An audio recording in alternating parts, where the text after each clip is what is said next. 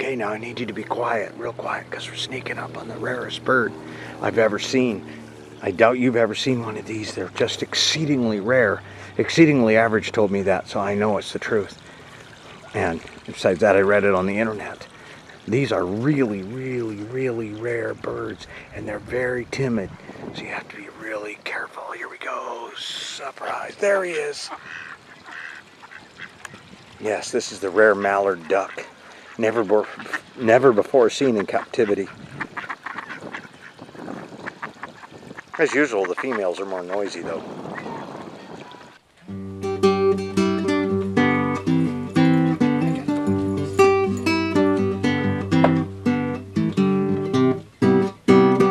Here we have a vertical hit and miss engine. Piston goes up and down. It seems like it probably works. None of this stuff's been ran in about four or five years because the guy who was working on it, he passed away. And nobody at the museum knows anything about this stuff or how to operate it or how to fix it and how to make it work. So,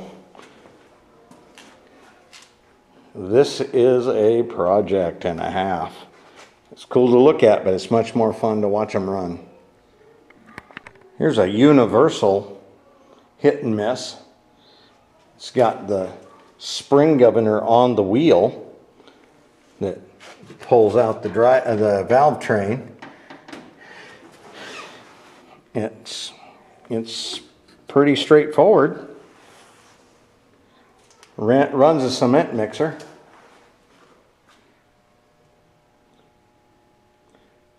was used last in the 30s to make a living for the guy who owned the store here on the island and here it sits in the museum.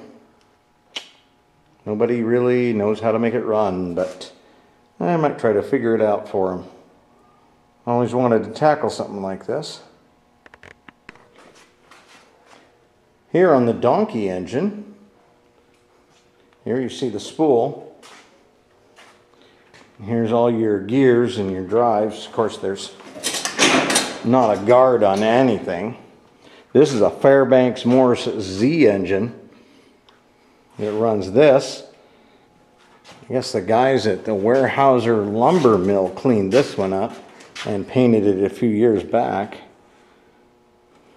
It still has its magneto right here.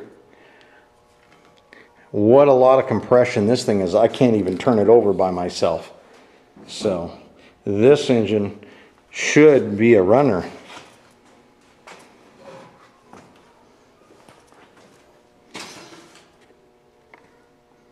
Pretty slick stuff.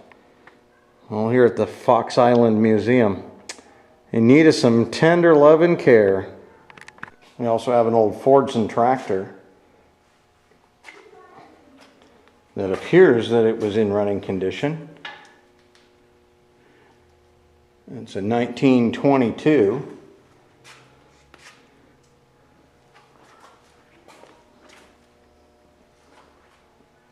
Probably also needs a little tender loving care, but I bet it runs. Here's a Farmall 1946 Model A. Yeah, it's pretty slick. Got a little, there's your starter and, no, that's not your starter, that's your magneto to, to run the engine. There's your generator. It's crank start apparently. Nope, nope, there's the starter back there. Right back here. That's your starter. Activated by a pull lever, no doubt. Got a little flathead engine in it. And this is your fuel tank up here.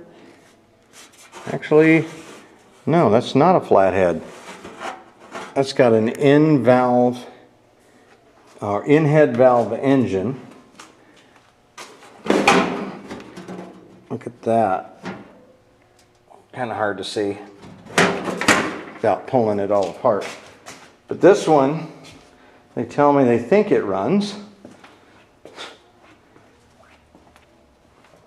I'm not going to be able to come down here too often. I live two hours away, so it's a bit of a trip, but maybe I will see about coming down here every once in a while and trying to get these things working for them so they can display them. That'd be cool.